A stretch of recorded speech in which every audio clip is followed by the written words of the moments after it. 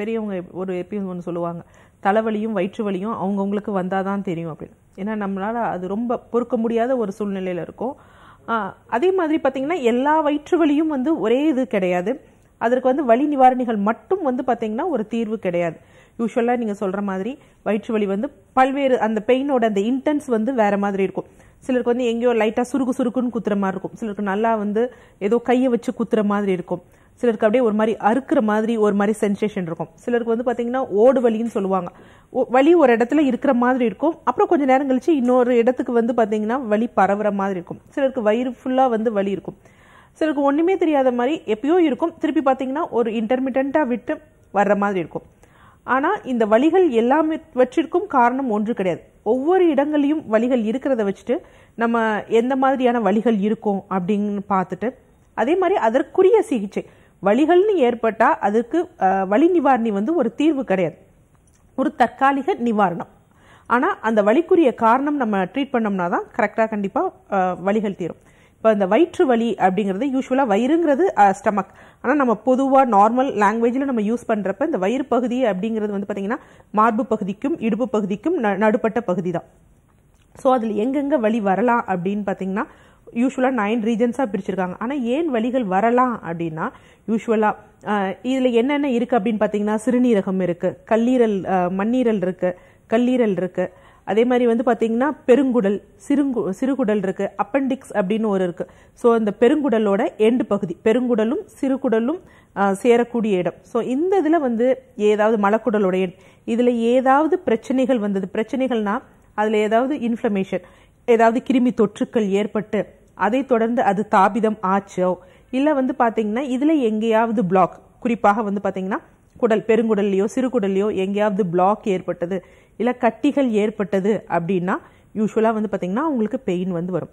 So இது நம்ம regions மாதிரி பிரிச்சுட்டு நம்ம பார்த்தோம் யூஸ்வலாக வலிகள் அப்படிங்கிறது வந்து வயிறு ஃபுல்லாக வந்து எனக்கு வலிக்குது அப்படின்னா அப்பெண்டிசைட்டிஸ்னு சொல்லுவோம். அதுதான் நமக்கு காமனாக தெரியும். அதில் வந்து என்ன எப்படி இருக்கும்னா வயிறு ஃபுல்லாக நமக்கு வலிகள் வந்து இருக்கிற மாதிரி தெரியும்.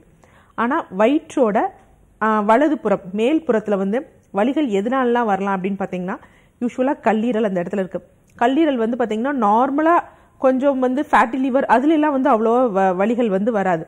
கொஞ்சம் ஹெப்படோமெகாலி ஆகி கொஞ்சம் வீக்கம் அதிகமாக இருந்தது அப்படின்னா வலிகள் வரும்.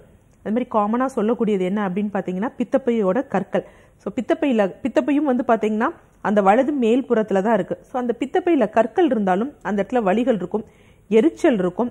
அந்த வலிகள் வந்து என்னென்னா பரவாது. அந்த இடத்துலையே இருக்கும். ஸோ அந்த மாதிரி வலிகள் இருந்ததுன்னா பித்தப்பையில் கற்கள் இருந்தால் அந்த மாதிரி வலி இருக்கும்.